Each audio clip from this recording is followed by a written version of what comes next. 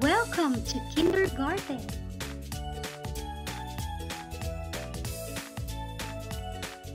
Magandang umaga mga bata!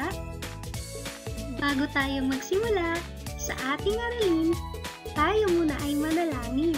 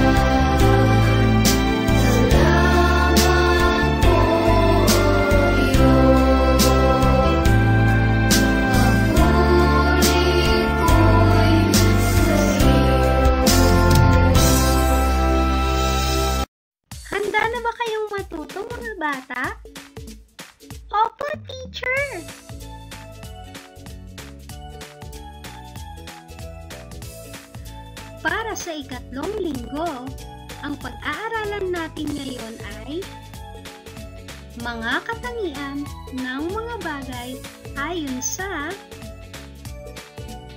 hugis,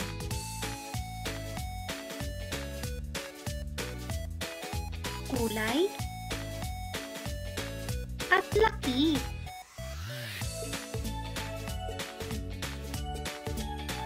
Tatalakayin muna natin ang iba't ibang mga hugis. Halina mga bata, sabayan niyo akong umawit.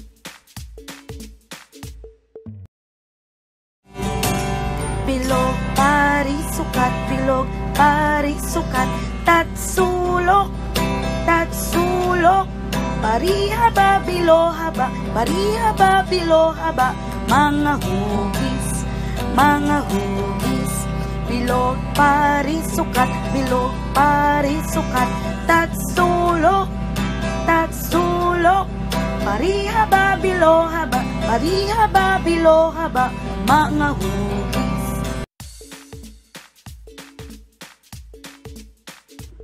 Nagustuhan niyo ba ang awit mga bata? Opo, teacher!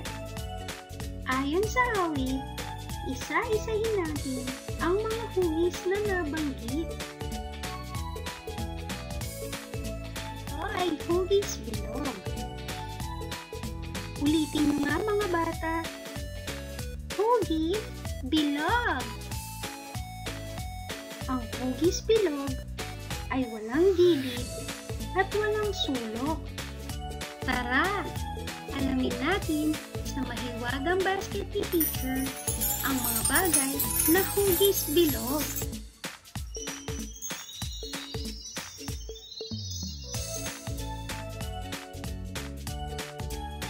Mga hugis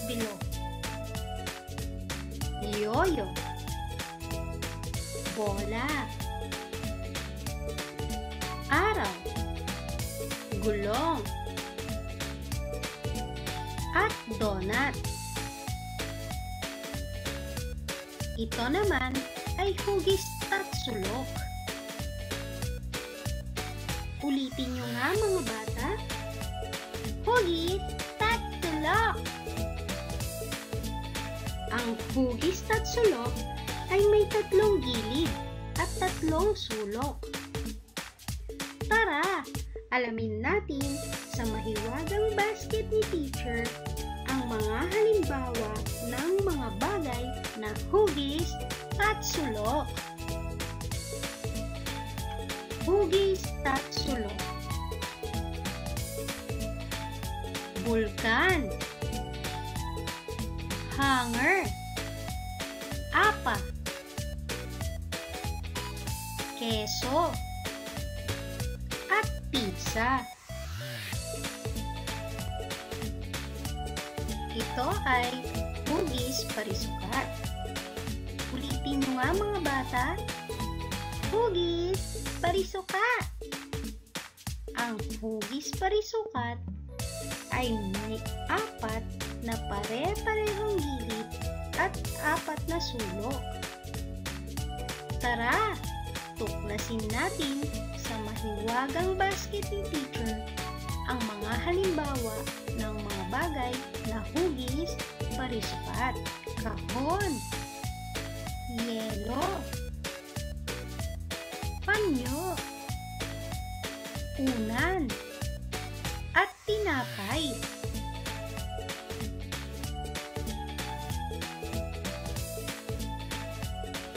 Hugis parihaba. Ang hugis parihaba ay may apat na di pare-parehong sukat ng gilid at apat na sulok. Tara, tuklasin natin sa mahiwagang basket ni teacher ang mga halimbawa ng mga bagay na may hugis parihaba. Gusali, pinto, kama, watawat, at aklat. Yan ang mga bagay na may hugis parihaba.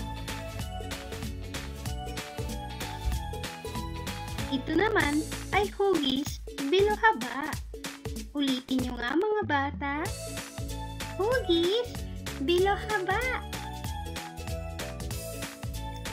Ang hugis bilohaba ay walang gilid at wala ring sulok.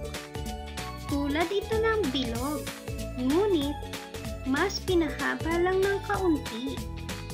Tara, tuklasin natin sa mahiwagang basket ni teacher ang mga halimbawa ng mga bagay na hugis bilohaba.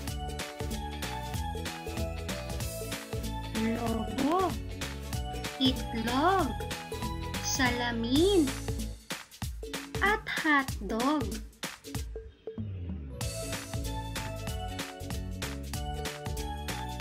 Bago tayo pumunta sa susunod na aralin, sagutin muna natin ang mga katanungan ito. Ibigay ang mga hugis na ating pinag-aralan ngayong araw. Hugis at sulok. Bilog. Parihaba. Bilohaba. At parisukat. Magaling mga bata!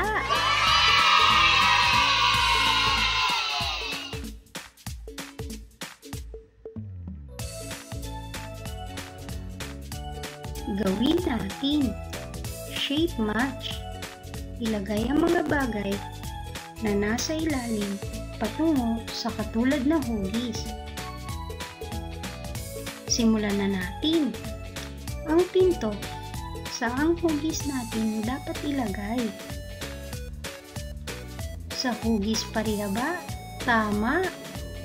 ang hanger saang hugis natin dapat ilagay.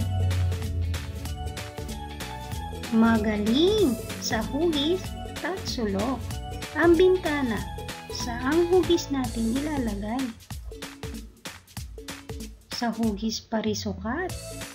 Magaling. Ang botones naman saang hugis natin dapat ilagay. Sa hugis, bilog. Tama. Ang sobre. Saang hugis kaya natin ilalagay?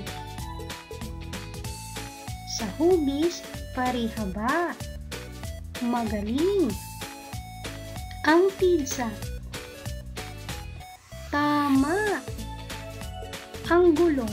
Saang hugis natin ilalagay? Sa hugis, bilog. Magaling. At ang regalo, saang hugis natin dapat ilagay? Sa hugis, parisukat. Magaling mga bata.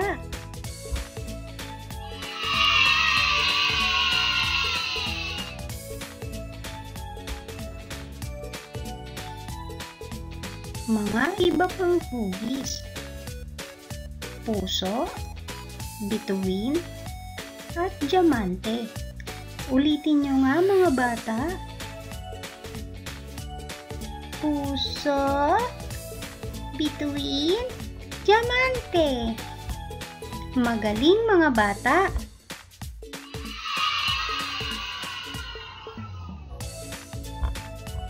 Isa-isahin natin nabanggit na kulay. Kulay pula. Kulay dilaw. Kulay bughaw. Kulay luntian. Kulay kahel. At kulay lila. Magaling mga bata. Ito ang mga kulay. Ang mga kulay ay mga bagay na nakikita ng mata ng mga tao na maaaring matingkad o mapusyaw. Ano-ano kaya ang mga bagay na may iba't ibang kulay? Ta, tuklasin natin sa mahiwagang aklat ni teacher ang mga bagay na may kulay.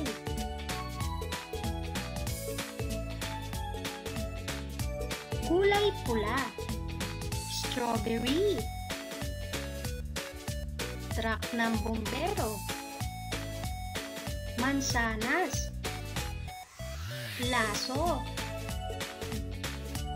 At sili. Yan ang mga bagay na kulay pula. Bagay na kulay bughaw.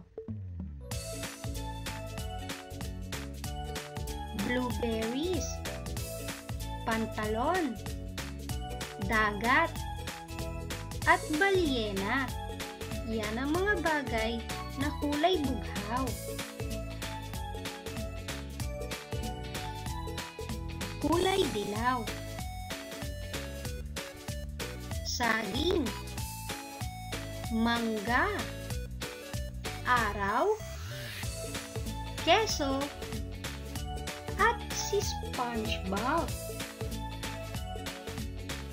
Ito naman ay kulay luntian, dahon, damo,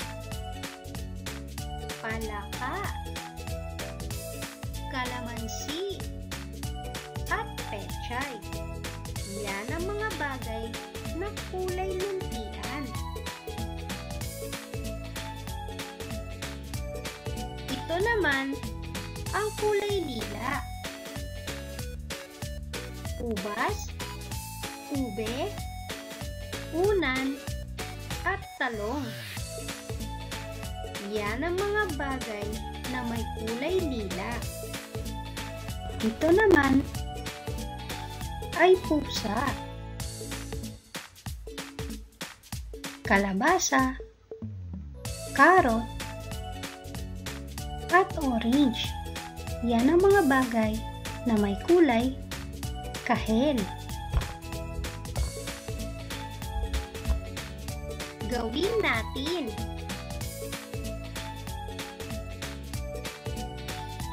Ilagay ang mga larawan sa tamang kulay ng garapon. Ang ubas. Saang kulay ng garapon natin siya ilalagay?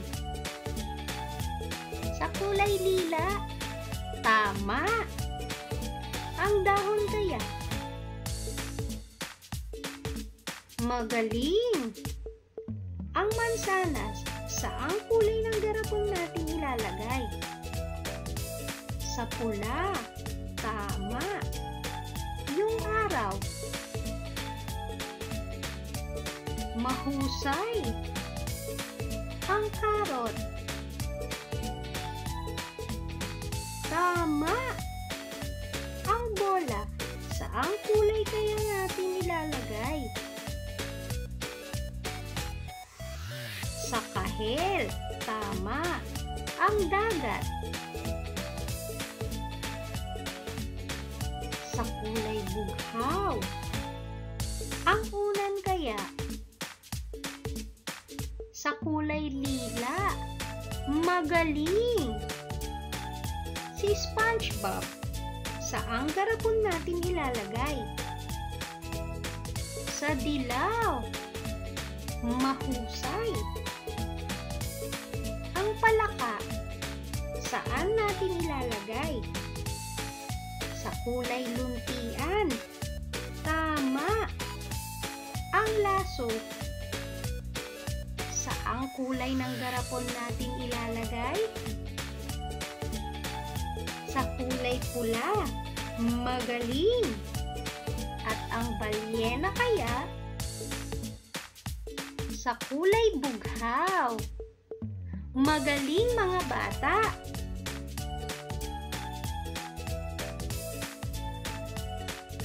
Mga iba pang kulay. Kulay puti, itim, kulay kayumanggi, at kulay rosas. Maari nyo bang ulitin mga bata? Kulay puti, kulay itim, kulay kayumanggi, at kulay rosas. Magaling! Mga bata, tignan nyo ang larawan sa pisara. Ano ang nasa larawan? Cupcake po, teacher! Tama! Butones po, teacher! Magaling! Alin sa dalawa ang malaki? Malaki po ang cupcake. Tama! Alin naman ang maliit? Butones po, teacher! Magaling! May mga bagay na malaki at maliit tulad ng cupcake. Ang cupcake ay malaki samantalang ang botones ay maliit. Ito ay sanga at ahas. Ngayon naman, sabihin niyo sa akin kung alin ang mahaba at maikli. Alin ang mahaba? Ahas po, teacher. Tama! Alin naman ang maiksi? Yung sanga po, teacher. Tama! May mga bagay na mahaba at maiksi. Ngayon naman, alin ang maikli?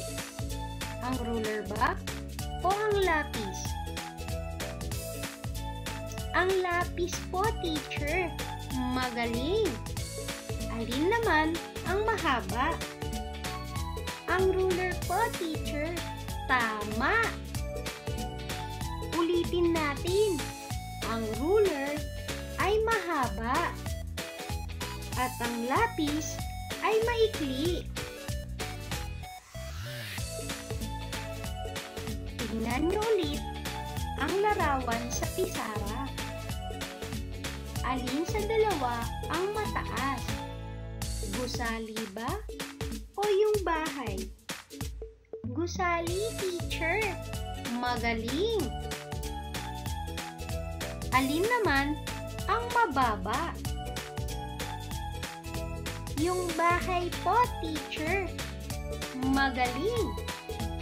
May mataas at mababang mga bagay. Ang gusali ay mataas at ang bahay ay mababa. Meron tayong puno at halaman. Alin dito ang mababa? Halaman po, teacher. Magaling. Alin naman ang mataas? Puno po, teacher. Tama. Dahil dyan, bigyan nyo ang inyong sarili ng tatlong palakpak.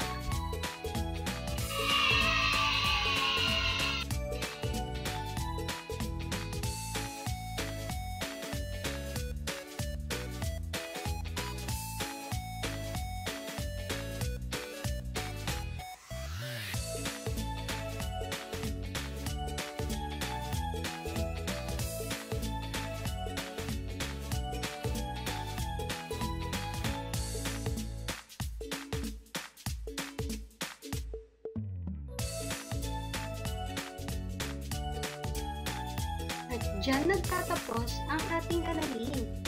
Paalam mga bata, hanggang sa muli!